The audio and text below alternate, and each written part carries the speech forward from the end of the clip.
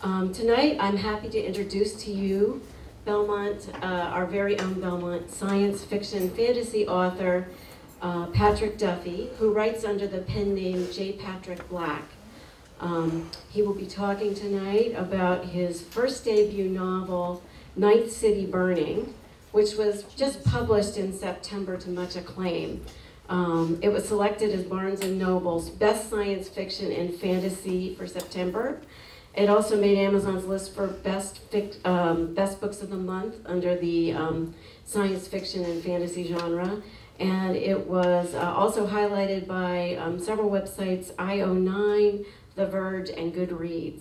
I just want to go into a little detail about Patrick's background because I think it's very interesting. Um, so off, often um, there's a disconnect between the idea of becoming a writer and the reality of the talent, the sheer commitment and determination it actually takes to become a writer. And uh, along the way, Patrick has worked in many occupations while simultaneously uh, writing his novels. And um, I think that's so rewarding to see that he is now um, able to be a full-time author and um, and uh, he is not only uh, just finished a book tour for Ninth City Burning, but he's also currently working on a new book. So with no further delay, please welcome author uh, Patrick Duffy, uh, pen name J. Patrick Black. Thank you.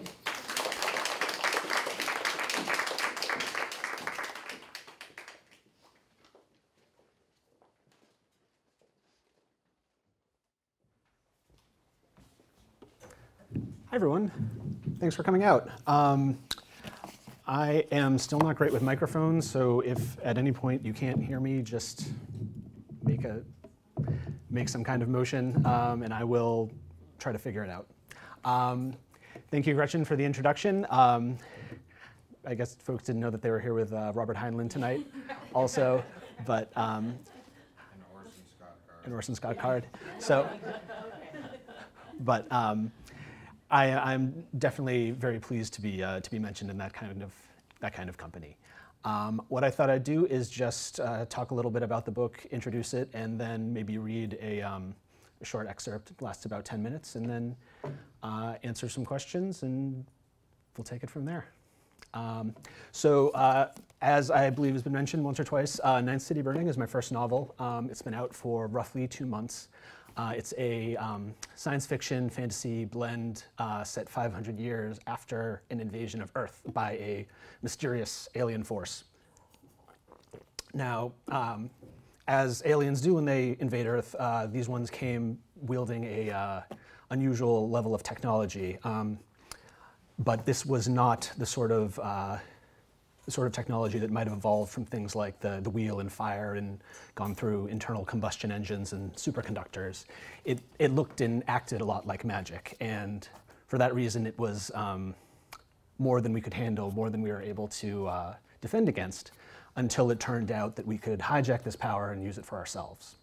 So when the story begins, this war has been going on for 500 years. Um, the entire planet is uh, putting all of its resources into fighting back into um, a kind of mysterious, distant war far away from Earth. Uh, society is divided into three parts. There are the cities, which are responsible for maintaining the war, for defending um, the planet. There are settlements, which uh, provide most of the supplies in terms of food and uh, material and soldiers mostly.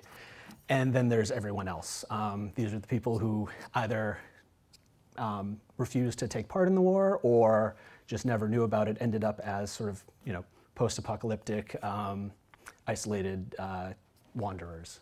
So the piece that I thought I'd read from uh, is from one of the, the city dwellers. Uh, his name is Jax, and he is a, um, a newfound uh, wielder of this uh, mysterious alien power. Um, so I'll get right into that now, and then we can, uh, we can talk about the rest.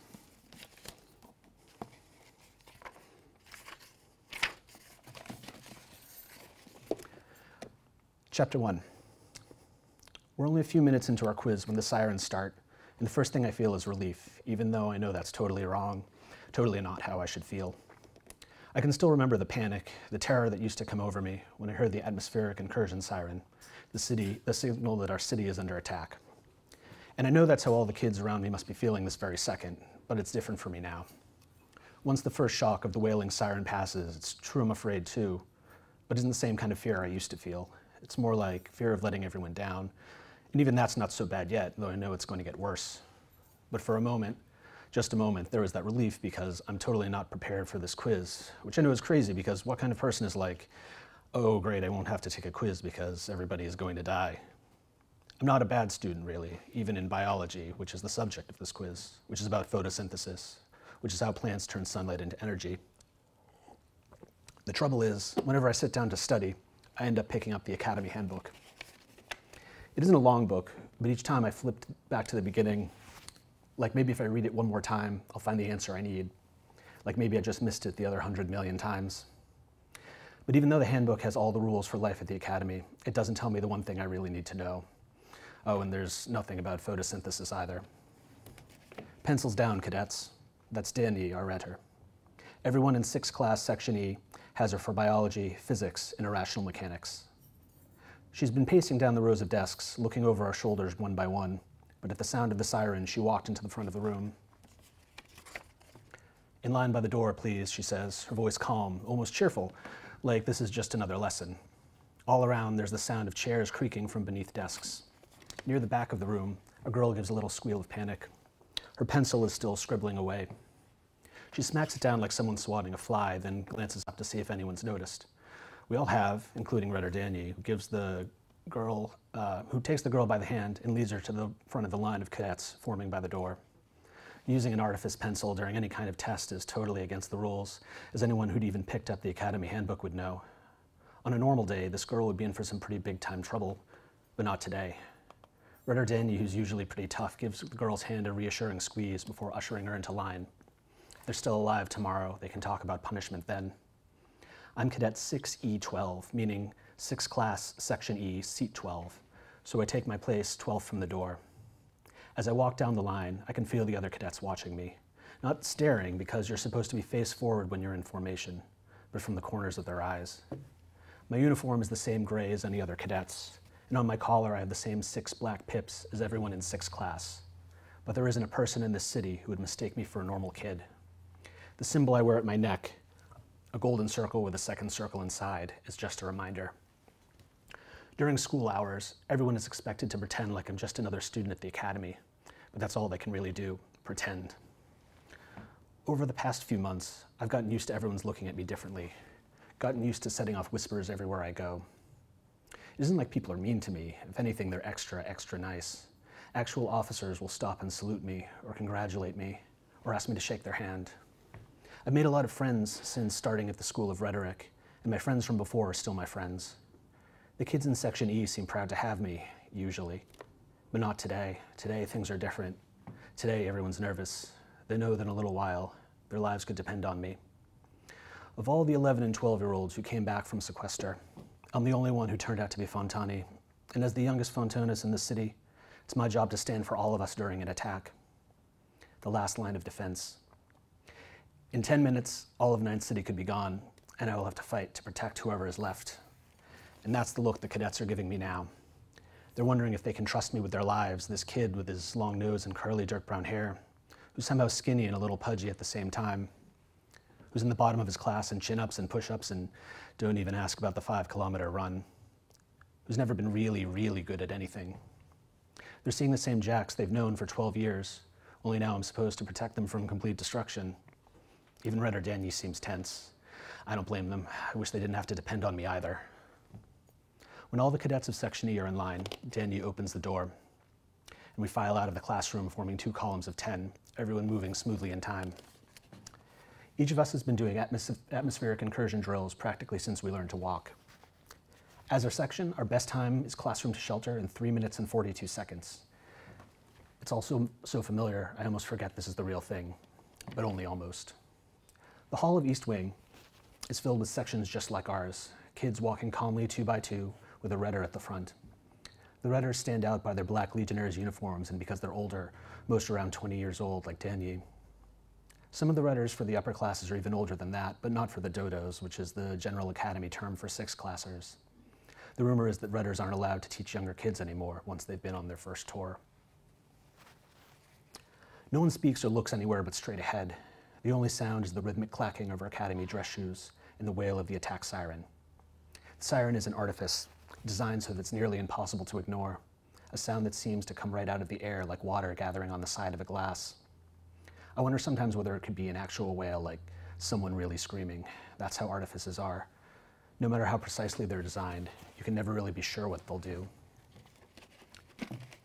We follow the flow of cadets down the wide stone stairway of East Wing as far as the ground floor.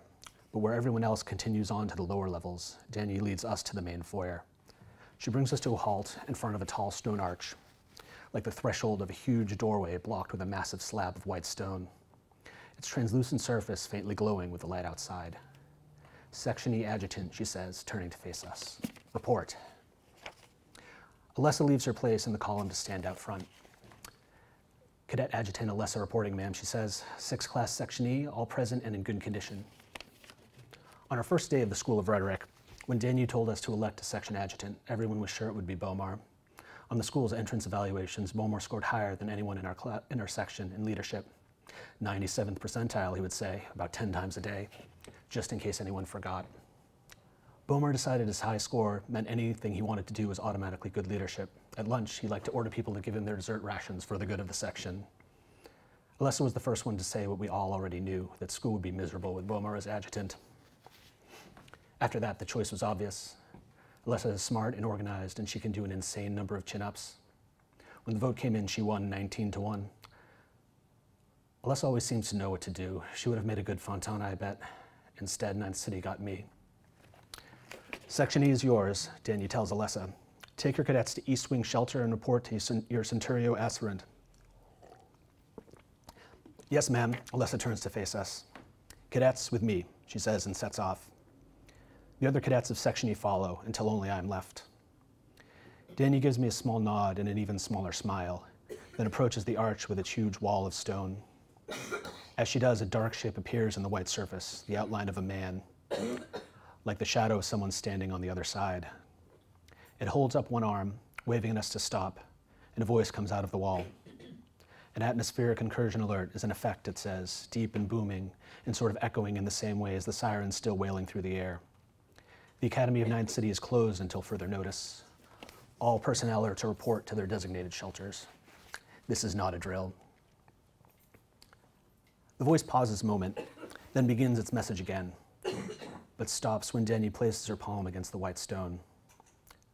Redder Denny of the Academy, she says, escorting Fontanus Jackson to the forum. The voice stops, then, after a moment, it says, Pass. All at once, the wall of white vanishes like clearing mist, and we're looking out onto a courtyard of stone paths and wide lawns, empty and bright beneath a cloudy sky. The door reappears behind us as soon as we're outside, I don't hear it happen, but when I look back, it's there. Danny has taken a small metal disc from her pocket. It's a, stor- it's a storage device, I know, made to hold artifices, and given to her for the sole purpose of bringing me to the forum during an attack. Oh, and given me to, for the sole purpose of bringing me to the forum during an attack. I could get there just as fast by myself, but the academy can be very strict and sometimes kind of unreasonable when it comes to what cadets are and aren't allowed to do on their own. I actually kind of like it better this way. Ready, cadet? Denny asks. I think she might actually be nervous, but I can't tell for sure. Ready, ma'am, I say. Denny passes two fingers over the surface of the disc, and suddenly everything is a blur, the ground rushing beneath us like wind, walkways and stairways and hallways whirling around us with the speed of a cyclone. When the world settles back again, Denny and I are standing in front of another stone archway, easily twice as tall as the last one, opening onto a wide stone plaza. I feel Danny's hand settle onto my shoulder. We pass beneath the arch, and she steps back and salutes. This is as far as I go, sir, she says. This whole procedure is in my handbook, part of a special appendix added just for me. It always feels weird when adults address me as sir, but now that we're off academy grounds, I outrank Danny by quite a bit. Yes, ma'am, I say, returning the salute. I'll take it from here. But instead of leaving, Danny kneels and hugs me hard. Good luck, sir, she whispers. We're all rooting for you. The hug takes me completely by surprise. Nowhere in the handbook, not even in the special appendix, does it mention hugging, let alone hugging a superior officer. As far as I know, hugging is completely non regulation. I mumble something that sounds like thanks, and Danny lets me go, smiling sadly. She salutes once more, and then she's gone in a gust of wind. End of chapter one. There are 65 more where that came from. so I know some people here have read the book, um, but if uh, you know anybody has questions about anything that has um, you know occurred in that chapter or anywhere else, feel free to ask um, while I continue to mop myself off. no? Yes? What made you want to write um, from so many different perspectives and different characters?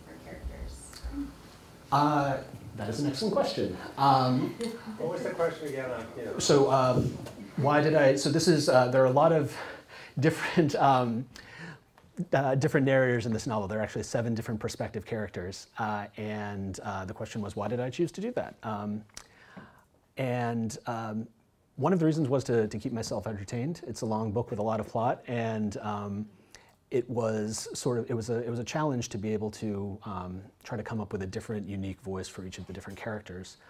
Uh, at the same time, I thought it was um, the right choice for the story in that um, there are so many different uh, sides to the action, and everybody, uh, all the different characters have their own perspectives, their own um, points of view, their own prejudices that really color what's going on, and being able to see each of them from the perspective of the others, um, I think really adds a lot of uh, complexity to the story. Did you map out all 65 chapters and then fill it in, or did it just kind of flow? Uh, yes and no. So um, there were probably three drafts that, that went into this in total, and um, as I mentioned, there are a, a number of different um, different perspectives and different characters, and I would generally write each one of them as sort of their own short story. Um, and by the time I was done with that, there were probably about 18 chapters, something like that, and I realized that they were much, much too long for anyone to, to sit down and write, so I sat down and uh, divided them up. But really, it was it began as um, much much longer pieces that were um, kind of woven together, and that it, you know they, they they gain a lot of um, momentum towards the end, but in the beginning, it's um, they really are sort of a separate adventures. I think that that, that come together. Does an editor help you in that process? I mean, or did you do Yes, very much. that in isolation? I mean, so- So um, the answer to both questions is yes. Uh, so I, I originally wrote the story, you know, as more or less completely privately. It was writing is my hobby, um, and I know a lot of family and friends know that I do it, but um, you know, it's not something that I would foist upon them to, to read. So really, the first um, people who saw this in a complete form were the um, the agents that I queried to try to get representation to actually sell this to publishers. Um, and so when I signed with an agent, we did uh, a round of editorial work. And agents vary on the amount of editorial work they like to do, but the one I had was was very good in that regard. Um, so you know, we did we did a good amount of work um, on this before it went out to publishers. And then um, once I found an, an editor at an actual publishing house, we, we went through it again. So um, from beginning to end, it was probably about two years uh, all taken. And I was only working on my own for about one of those. Yes. Now, in the Good, Goodreads review, it mentions that you're, I think, that's where I read it. I don't know, I read so many things about you, Mr. Black. Um, But are you writing another book now? I am. Is this a sequel to this? The, yes, and so uh, I'm actually on for two more books in this same series. Um, I was writing book two about three hours ago before I came here, so it's uh, it's some some ways from being complete, but um, I, w- I will get it to you eventually. I, it will not be a uh, George R. R. Martin sort of hiatus between books. I'm hoping. Yes. In what year does the story take place? Uh, it is is unspecified, but um, at least at least five centuries from now, um, probably a little bit more than that. But it's uh, the the um, the sort of kind of moment where the, the world of the story departs from our own is five centuries before the story begins. So the world has had time to, to change quite a bit. Um, it's, uh, you know, I, I suppose it's sort of a spoiler alert that I've already told you that it's Earth, but uh, you, don't, you don't really figure that out until a couple of chapters into the, the novel, unless, you know, you're, you're very, very perceptive, which I'm sure you all are. Yes? In uh, developing so many different characters, did you find that you eventually had a favorite or one that you identified with?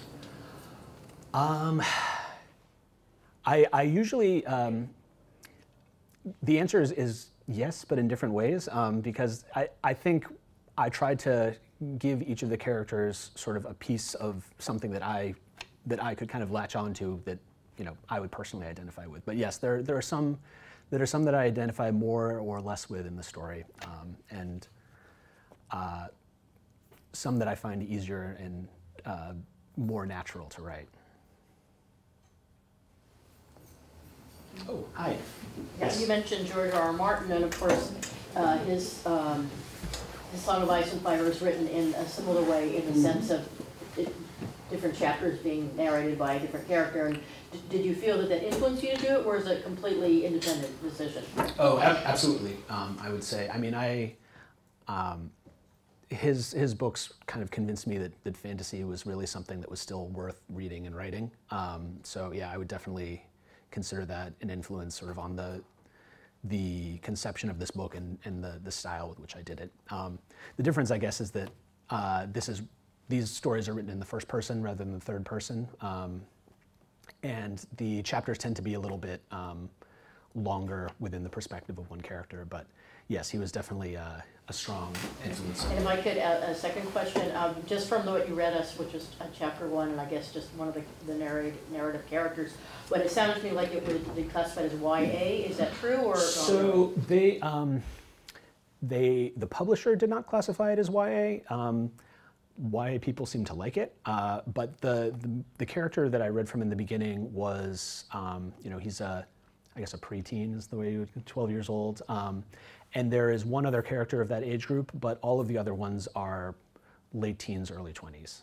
Um, and of course, there are, and those are just the perspective characters. This is, it's, it's sort of a world where people tend to not live for a very long period of time. So, for that reason, um, most people tend to be relatively young. Um, but there are, um, you know, there's a variety of characters. There's one who uh, is, I guess, technically, you know, 550 years old, um, but is probably more in his mid 40s uh, in terms of uh, appearance and experience. So, you know, it it goes all over the place, but um, like I said, I've, I, we have had good good response from YA readers.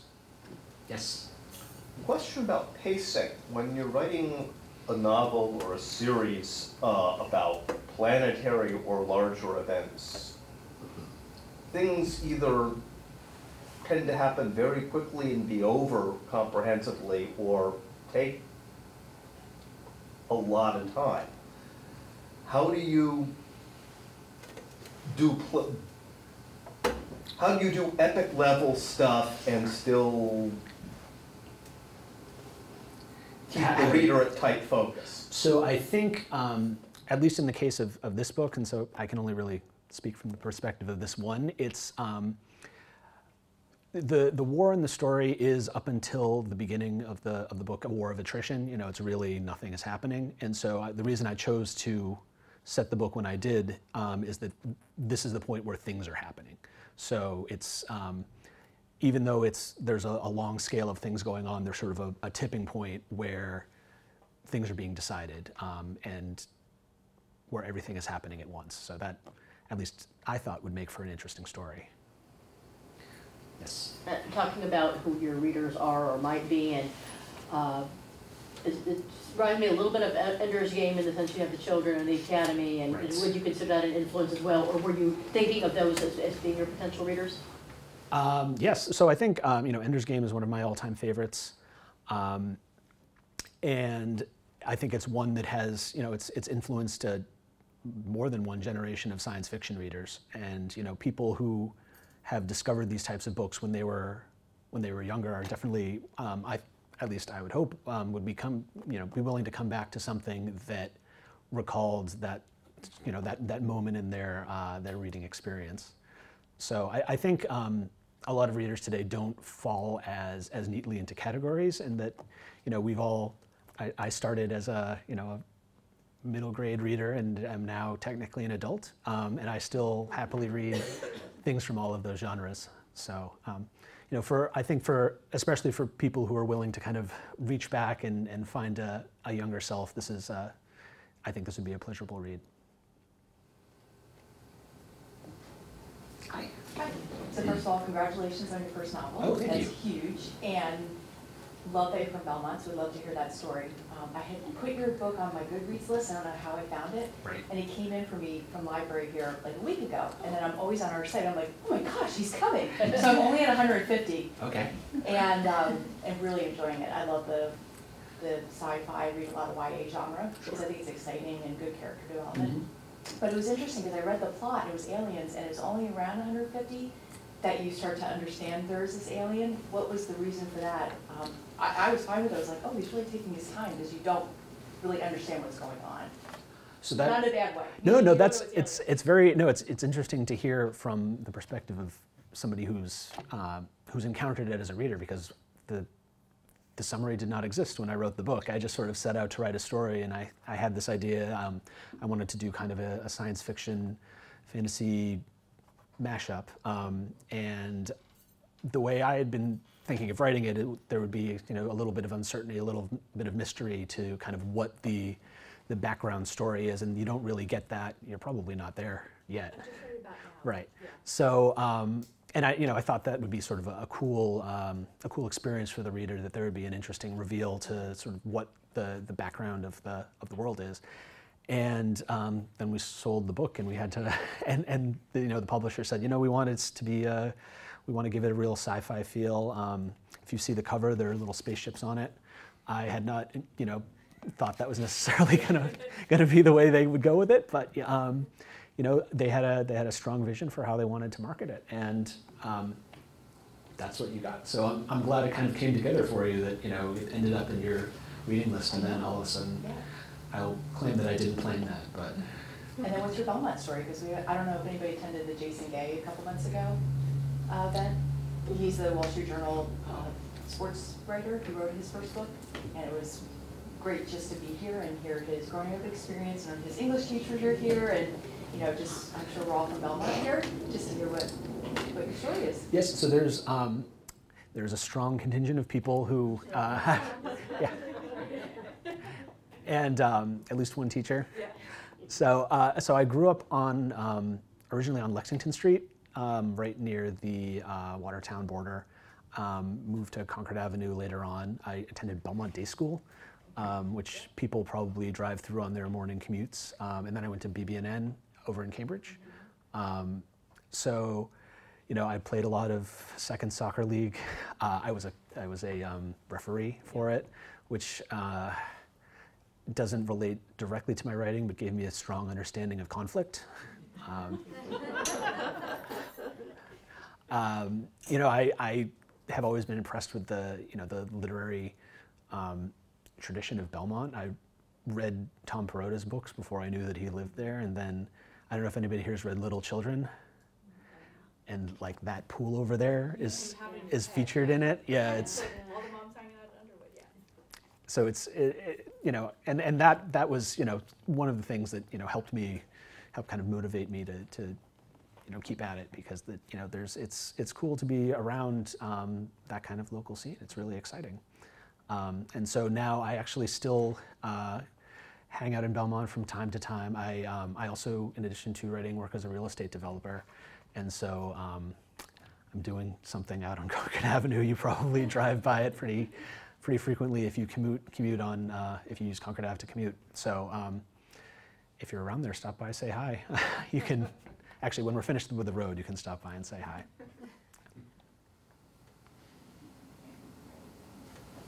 Yes, hi. Hi. Um, do you have any advice on any young uh, new authors on how to market uh, their, their books, uh, going through what you've gone through? Yes. Uh, so first, first step is um, have my mother be your mother because she, she, she's probably my, my primary um, marketing contact. Uh, I, I, think she was the one who, who contacted the, the Belmont paper, which uh, got me an article there, and I think led to me being here. Um, so there, there is a small success story right there. Um, I would, I would say learn how to use social media. Um, I am still not great at it, but I'm trying. Um, and I think probably the, uh, the biggest piece of advice I would have is just to be willing to get out and do a lot of legwork, meet people, um, have some cards made up, but be, be willing to go to conferences and literary events because there are always a lot of people there who love to talk about writing, and I think that's um, that's kind of the one thing that you know if you're if you're a writer or if you're a reader, you're going to have in common. Finding a good agent would be also. Finding a good agent is yes, that is that is definitely an important part of it. Uh, that took me a long time, um, uh, but you know it's it's the sort of thing where if if you're if you're out there and meeting people, you you really increase your chances. Um, I was not one of the lucky ones who got my agent in some sort of you know, interesting, miraculous way, like meeting them at a restaurant or something like that. I kind of, I did it the old-fashioned way, well, using the internet. So not quite the old-fashioned way, but you know, um, the more traditional way. Did you specifically look for agents um, that represent speculative fiction, and if so, how did you determine which ones to approach? So um, I wasn't looking specifically for speculative fiction. I had, I have, I had a book that I wrote before this that I was looking for representation on that I met a lot of agents um, that liked it but didn't think they could sell it. So when I came back with another book, I started with the agents that already had said they liked my work. Um, and so this time around, it, things went a lot more quickly. Um, but I think the, the best way to seek out agents is to look in the back of books that you like. Um, and usually, you know, a happy writer will, will mention their agent. I know I did. Um, and you know, you can then go to their website and send them a letter and keep your fingers crossed. There's a lot of finger crossing that goes on when you're submitting books. Oh, yes? I'd love to hear you read your book. And I think an author has a, you know, just a real connection, of course, to the, the story and then can put inflection where inflection should be. Um, are there any plans to create a It already exists. It, it, it, it, not only does it exist, it has a full cast. So um, there are you you have all of the narrators. Uh, there are some some narrators in this in this book that I really like, but I shied away from actually reading from because they are females, and I didn't think I could really pull off a female from the first person in my own voice. Um, so, but the so the audiobook readers are fantastic. Um, I've listened to the audiobook. It's it's really great. Um, and there's one of the characters in the in the book that uses uh, footnotes in her narration, and they handle that pretty well uh, in the in the audiobook, um, which is not a simple task. So I applaud them for that as well. Character who narrates in footnotes. Excellent. yes. Have you had interest from movie interests? Um, so the answer to that, I would say, is sort of. Um, I have a rights agent, which is different from a um, normal literary agent, who, you know, is trying to find people to turn it into something. Um, unless he's being very cagey with me, there hasn't been any deals on that so far. But uh, you know, you never know. It's more of the finger crossing I mentioned. Yes. Patrick, did your agent um, want you to have a pen name, or did you do that on your own? So that was, um, I would say it was a group decision. Uh, a lot of it had to do with my publisher, which is, so the, the publisher is Ace Books, um, which is a, uh, a uh, division of Penguin Random House, and they have a lot of um, authors with my various other names already. They have a James Duffy, they have a um, Patrick, or James Patrick, um, and you know they there's also a, uh, a slightly more famous Patrick Duffy that some people might have heard of. Um, so, uh, well, and so when I was on my book tour, um, I stayed at this one hotel that was uh, it was sort of known for um, having authors stay there, and they had a they had a library um, filled with books signed by authors who had stayed at this hotel. And so when I got there, there was a letter for me uh, that said, "Oh, um, Mr. Duffy, we're so pleased to have you staying at our hotel. If you would please sign this copy of Man from Atlantis by Patrick Duffy, um, we would be very pleased to have it in our library." And so. Um, I wasn't sure if I was being punked or what exactly was going on, but uh, I eventually figured out that Patrick Duffy, the actor, had written a novel called The Man from Atlantis the exact same year. And not only that, had been um, to the bookstore that I was signing at that night and signed his book.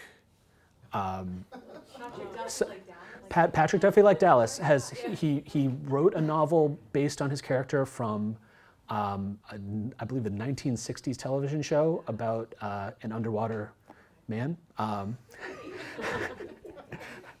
and, and he had been to the bookstore ahead of me and signed his book. So I bought a copy of it there and gave it to the hotel so that they would have it there. Um, but so that's, that's another reason. He gets much, many more Google hits than I do. Um, I was also recommended to choose a name that had a B uh, as its first letter because that gets you in a nice place on the science fiction shelves. Um, uh, Ray Bradbury, Arthur C. Clarke, uh, Asimov. It's just a nice area to be in. Um, so, so uh, yes, a lot of a lot of thought went into it. Um, there there was a lot of Actually, uh, Belmont was one of the alternative last names that I was thinking about choosing, but um, my publisher told me not to because it would be obviously fake. Uh, because because I would go to events like this and people would say, "Oh, that's an interesting coincidence." They're...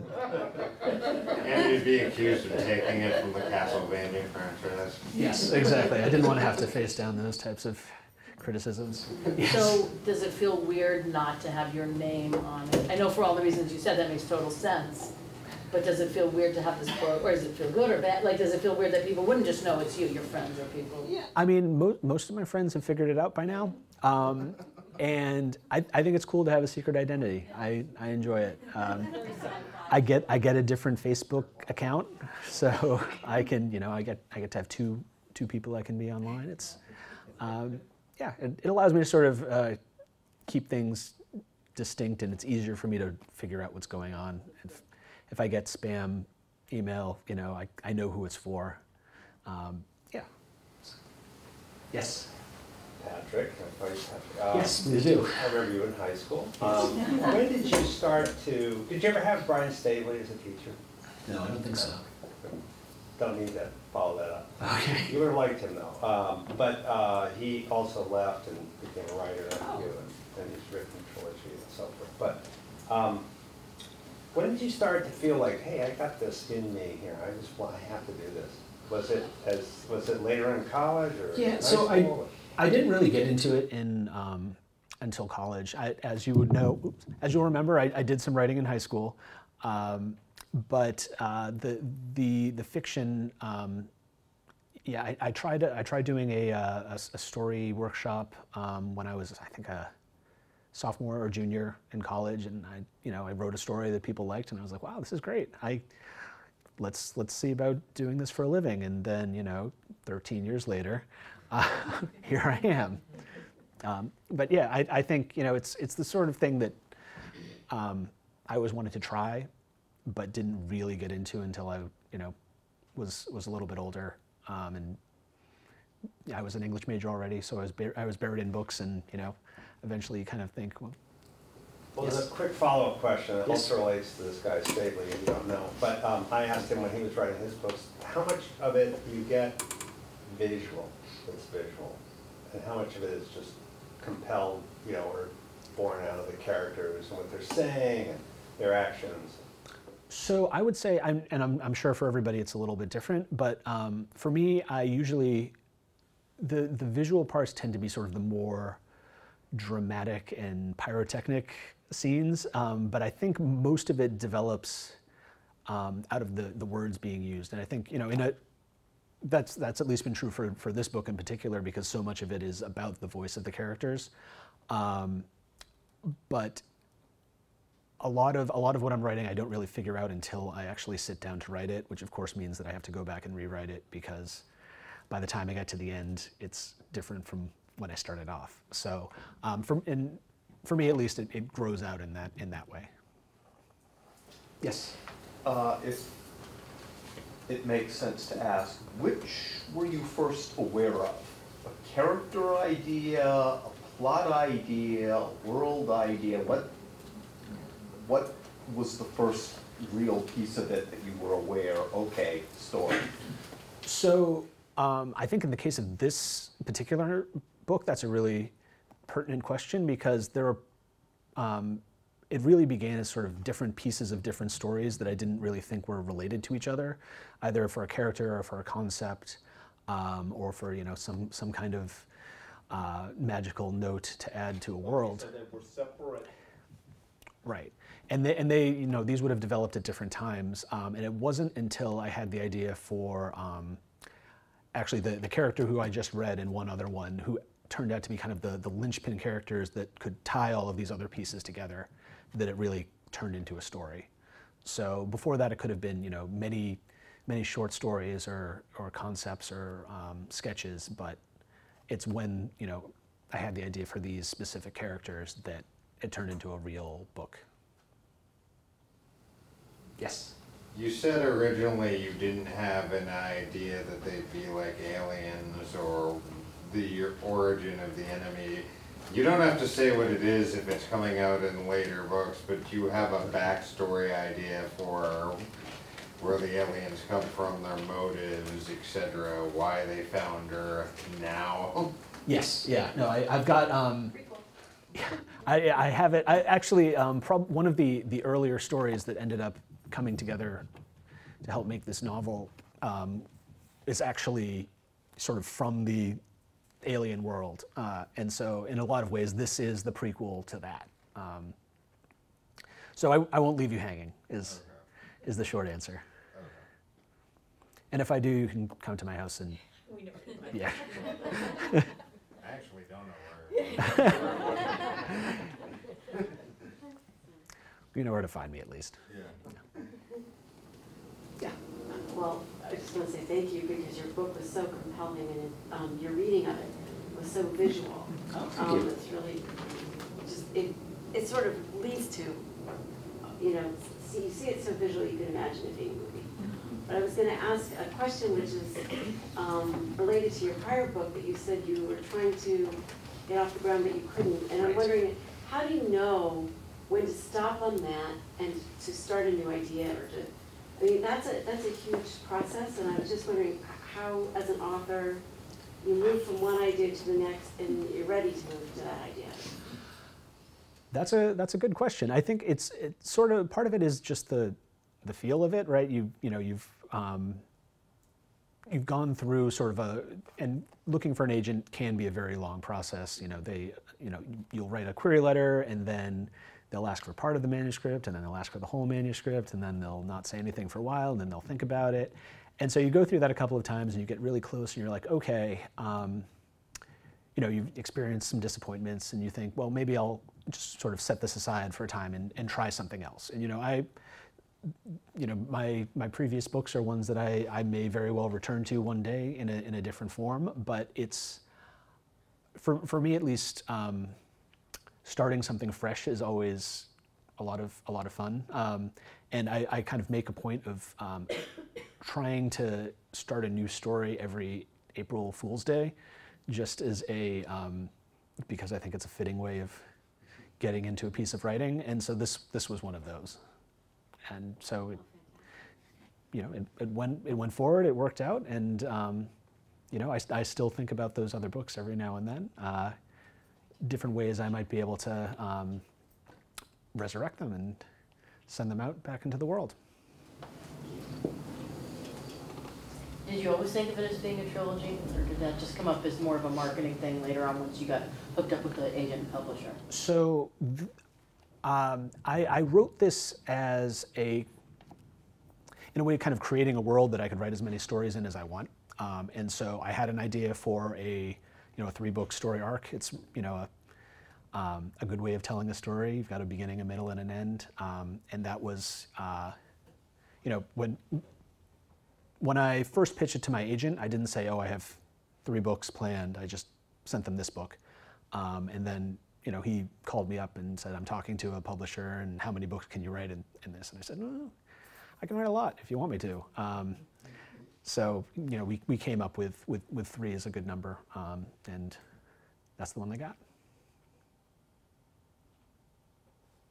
Yes. With the, the success that you've had in the sort of the modern age of instant feedback, have you allowed yourself to go down those rabbit holes, or do you ignore the press, or what's your sort of take on A, reviews, and B, like micro reviews in terms of like a comment section? So for the most part, I don't bother with them um, because, you know, I, I don't I can't speak for other writers, but you know, ten great reviews, you know, really can, can be sort of overshadowed by one bad one, and you know, it's write, writing a, a book that everybody likes is or that, that anybody likes is, is difficult and writing one that nobody hates is pretty much impossible as far as I can tell. Um, but I, I do, you know, every once in a while, I, I pay attention to, or I have paid attention to, um, you know, sort of the, the more professional outlets, just because I kind of have to. They end up quoted on your website and your book. Um, but for the most part, um, a lot of the, the reviews that I end up listening to are the people who just email me and tell, they, tell me they liked it. That's, uh, you know, a more consistent audience, in my opinion, is, are the ones who um, you, you have to reach a much higher level of success, I think, before people start writing you angry letters. Uh, but they'll write you nice letters right away. You killed my favorite character, those kinds of angry letters. Right, yeah. And so uh, there are a lot of characters and it's a war, so that's. So Patrick, what keeps you inspired? You, you know, that is an excellent question. Um, you know, just keep the creative process going and the juices flowing, how does all that kind of evolve and come out of you? It's, it's a pretty amazing gift, I think. Thank you, thank you. Um, right now it's deadlines. Uh, I, I have I have an editor who is uh, going on maternity leave in about a month, so she needs the second book by then because um, the baby is not going to wait for me to finish what I'm writing now. So uh, I am I'm going to get it to her by then. Um, but and you know and then I will go for lots of long walks in the snow and have more brilliant ideas. I hope. Sorry, did they put any conditions on you, the publisher or the editor? Did they say, we want it longer, we want it shorter, we want it this, that? you know? So, um, not not very stringent ones. Um, the the editor that ended up buying this book bought it because she liked it, um, or got her publisher to buy it because she liked it. I don't exactly know how they decide. So, at that point, you know, it was. Um, it was already kind of cut to her specifications. Uh, and she mentioned um, before we, we did the deal a couple of things that she thought um, you know she would like to see changed. And so most of them were not a problem for me at all. Um, but also they were they wanted to publish a book by me, so really I probably would have done almost anything that they asked. Um, but the uh, the requests that they made were, were not very um, not very harsh, and so we'll see what she thinks of the second one. Um, but you know, every um, edit- editors are you know it's like it's like going to a doctor, right? They're very professional, um, and so and you know very wise in the ways of the publishing world. Um, so usually I, I listen to what my editor says because she's she's smart and knows a lot.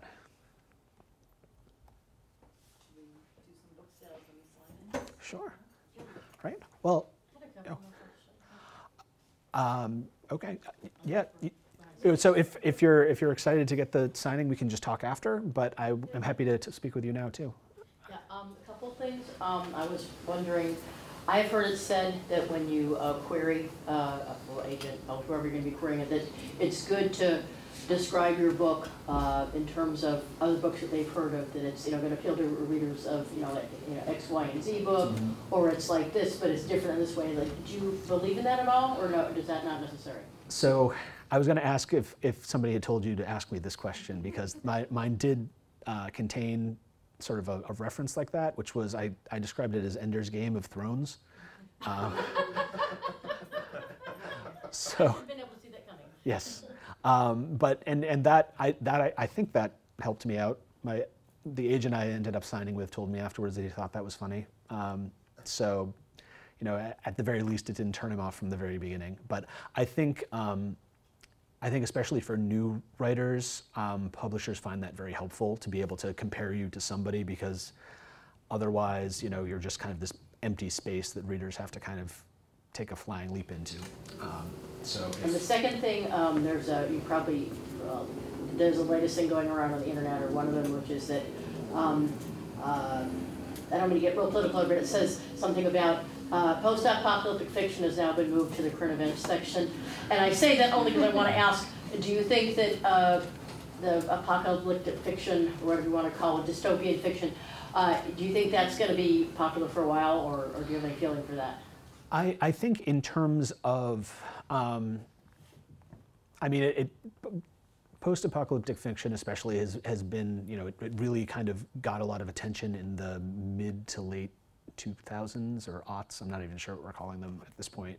Um, and has, you know, it's, it's still really, um, it's, it's powered through until now. And, you know, in a lot of cases, we're just kind of seeing the movies based on the books that were written back then. Um, I think there's still a lot of room for stuff to be done, and, and especially um, in sort of very kind of smaller, less epic ways, that, because um, that type of speculative fiction, I think, really allows you to kind of peel off a little piece of society and examine it in sort of an extreme and you know very interesting form. So I, I have a feeling that we're going to be seeing a, a lot more of those going forward. Okay, so that has legs in, that's not going away anytime soon. I, I would say so. I mean, I'm not in charge of buying books for a publisher, but um, if I was, I would probably buy some. yeah. So I want to thank Patrick tonight. It was a pleasure. Thank you for having coming out, everyone.